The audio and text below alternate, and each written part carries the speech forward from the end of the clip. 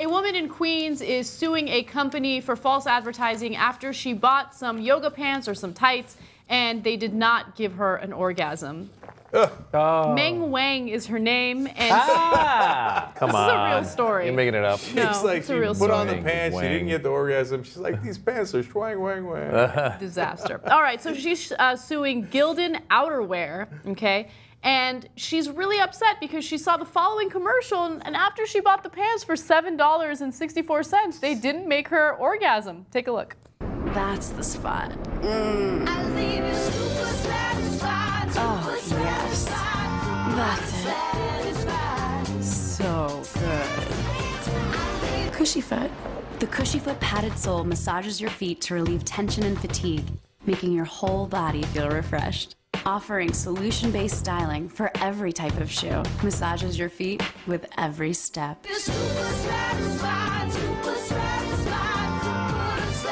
All right, so this is actually a tights company, like that's what they specialize in, but she bought the soles, mm-hmm. and the soles didn't make her orgasm. I mean, anyway, I know that actress. you do? Oh, really? That's my friend, Deanna Russo. And she was in a movie that I did where she actually said similar lines. Really? It was a comedy, I swear to God.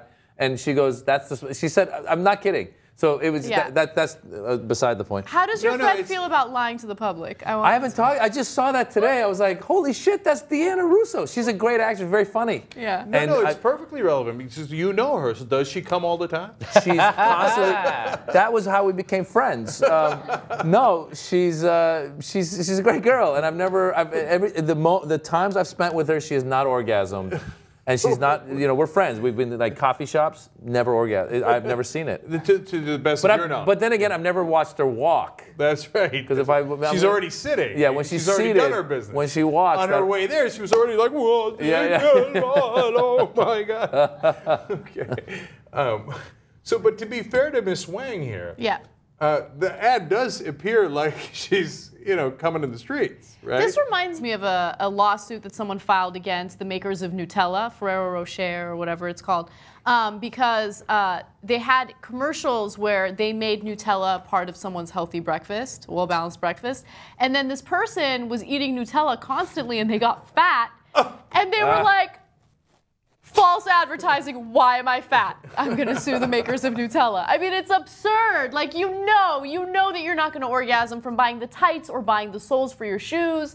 Like, You know what? You guys are ironically swi- swinging me in uh, her direction. It, it, I'll tell you, of course, it's an absurd loss, of course, right?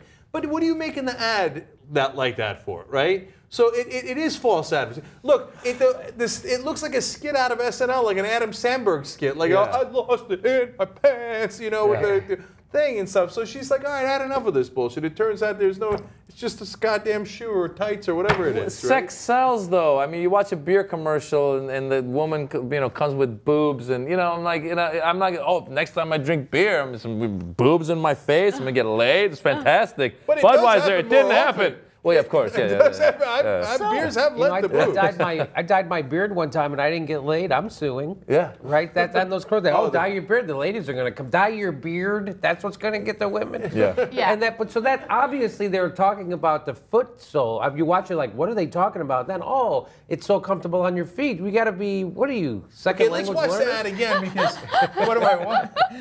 what are you, a ESL, second language learner? English second language. Actually, I am. Offering solution based styling for every type of shoe, massages your feet with every Massages step. Listen, if it were called, if it were called coochie foot, Yeah. nah, that's different. disgusting. That's different. That's a whole different product. But you saw it. I mean, here, I, you want me to recreate her face in the middle of that ad? I'll do.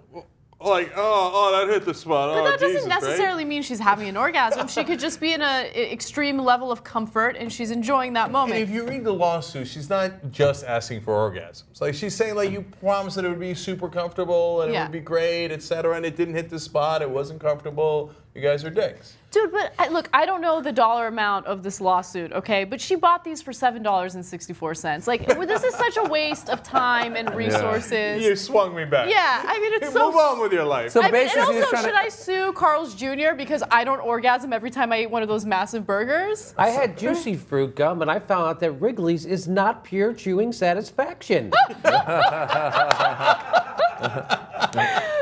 If she just kept the receipt, she could have returned the product and yeah. then game over. No, Yeah. but she wants to sue because she's looking to make a buck off of this stupid lawsuit. She says she her she was disappointed to find out that the purchased products did not even feel different from her regular socks and tights.